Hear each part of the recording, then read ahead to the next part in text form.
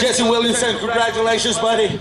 We were fast all weekend. We just couldn't catch a break. So I appreciate uh, George, you, and all the fans and the uh, Elma Speedway. It's awesome.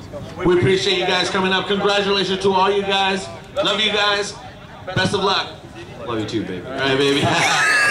well, in that case, we're gonna.